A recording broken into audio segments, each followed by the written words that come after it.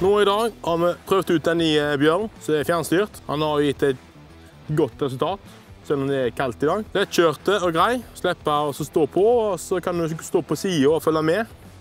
Eh, Denne er utstyrt med en 15 hester Lonsin-motor, og det er plenty. Han greier det godt å kjøre i store tuer med lysgiv og kratt.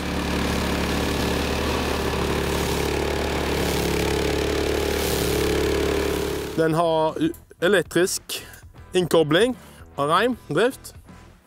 Han har elektrisk hev og senk på klippeaggregatet. Og han har lys hvis det er mørkt. Han har elektronisk turtalbetjening, utstyrt med Y-knivær. lange Y-knivær.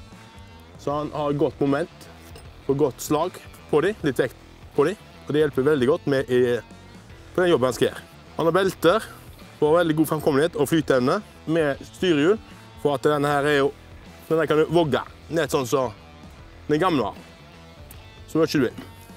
Det utgjør at han kan klatre veldig godt i terrenget. Vedlikeholdsmessig er det smørefrie lagre, så du slipper å grise selve kn- knivtrommelen. Det er egentlig kun oljeskift og påfyll av bensin og så luftfilter da, som må vedlikeholdes. Resten er ganske enkelt og greit. Beltene kan du stramme etter hvert, men det er ikke ofte du gjør det.